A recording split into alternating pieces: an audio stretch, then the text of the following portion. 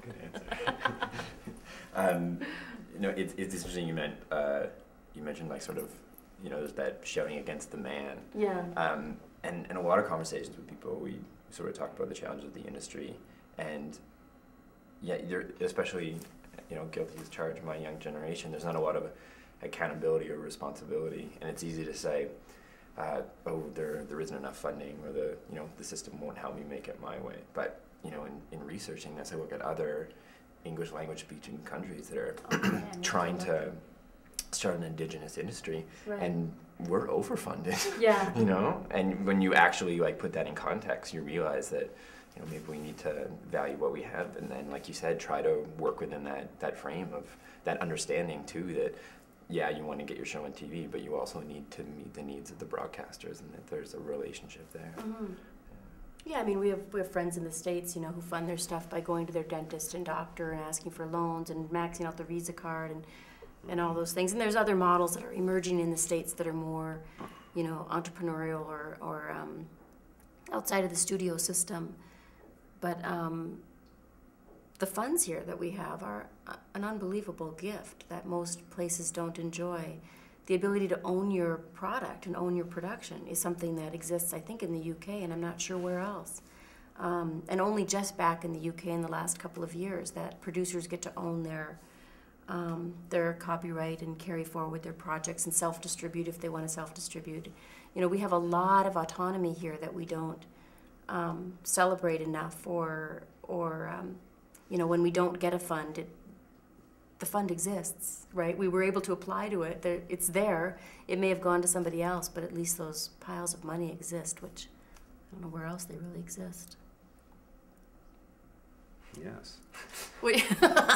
Okay, true. I won't. I won't talk anymore. Oh, no, that's, no, that's, it's true. Um, yeah.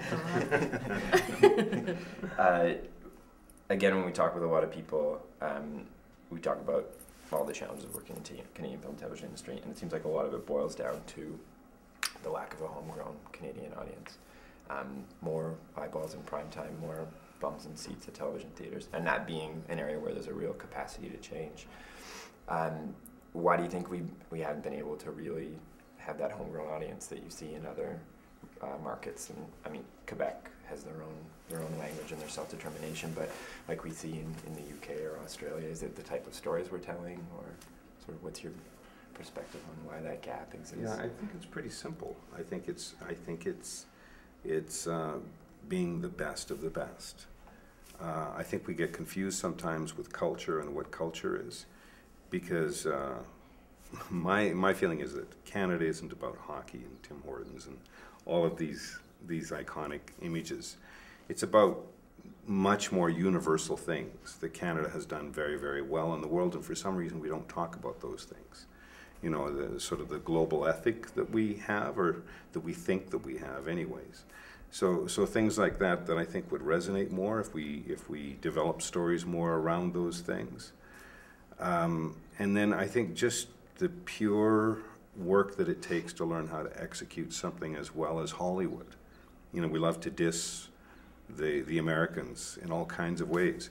But it's interesting when you come to Banff and you listen to the speakers, most often the ones that come across as the most um, mature in so many ways are the Americans because they've just been through the wringer and they've come to the top of their game. And, and you can tell because the way they talk is, is actually not always, uh, but often very moderate and very, very well informed. You just documented saying that. Yeah.